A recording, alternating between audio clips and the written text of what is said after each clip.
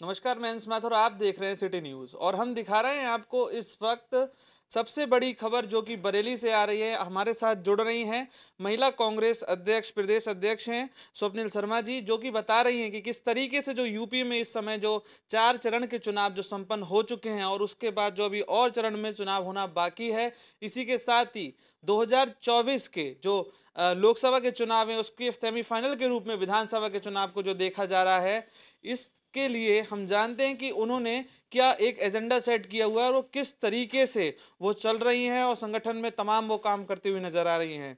बिल्कुल मेरा लक्ष्य बिल्कुल साफ़ है और इसमें कहीं भटकाव नहीं है। जैसा आपने देखा था कि पश्चिम में थोड़ा सा महिलाओं की भागीदारी अगर मैं राजनीति में कहूँ तो कम थी।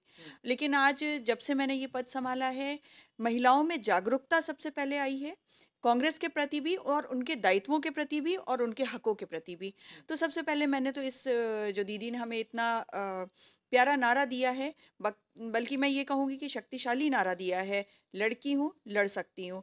इस नारे के को बुलंद करते हुए मैंने पूरे पश्चिम यूपी में महिलाओं को एकत्रित किया है संगठन तैयार किया है और आप जानते हो कि आज महिलाएँ मेरे साथ खड़ी हैं और बिल्कुल कंधे से कंधा मिला के चल रही हैं। आगे भी इस संगठन को मैं ना सिर्फ़ पश्चिम में बल्कि पूरे उत्तर प्रदेश में चाहूँगी कि विस्तृत रूप से इसको आगे बढ़ाती रहूँ। अगर मैं आँखें मूंद करके बात ना करूँ तो साफ़ तौर पे मैं ये तो कह ही सकती हूँ, जानती हूँ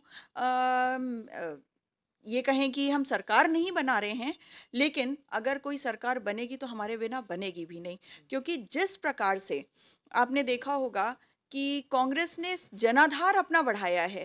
आ, लोग आज कांग्रेस के साथ जुड़ रहे हैं। आ, अगर मैं कहूँ तो अगर किसान की आवाज़ तो कांग्रेस थी। आप जानते हैं किसानों का मुद्दा अगर किसी ने उठाया है ज़ोरदार तरीके से तो वो कांग्रेस थी। अगर महिलाओं के हकों की आवाज़ है और महिलाओं को सशक्त करने की बात आई तो वो सिर्फ़ हमारी दीदी ने किया है कांग्रेस पार्टी ने किया है।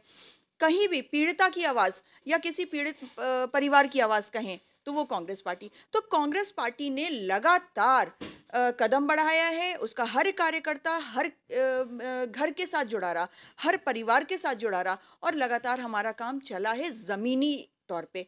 तो ये तो कह सकते हैं कि हमारा जनाधार बढ़ा है लोगों ने हमें आगे बढ़ाया है। और आज दीदी का चेहरा उत्तर प्रदेश में आ, कह सकते हैं लोग उन्हें दुलार रहे हैं प्यार दे रहे हैं सम्मान दे रहे हैं।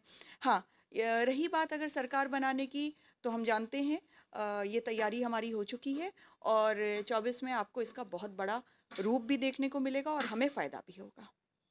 वर्तमान में बरेली की स्थिति अगर बात करें तो कांग्रेस की काफ़ी जो है इसमें असमंजस की रही। चुनाव नज़दीक था और इस तरीके से जो कई चीज़ें घटनाक्रम जो लगातार होते चले गए, उसमें इस बार बरेली में क्या खास नज़र आने वाला है? जैसे आप भी बरेली से हैं।